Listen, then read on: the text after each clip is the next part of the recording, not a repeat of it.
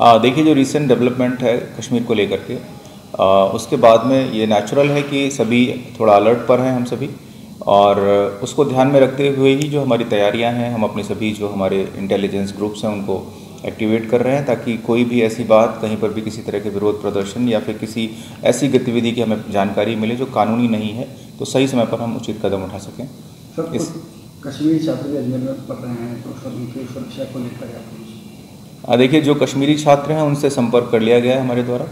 उनमें से हर किसी को इस बात के लिए विश्वास दिला दिया गया है कि आप यहाँ पूरी तरह सुरक्षित हैं।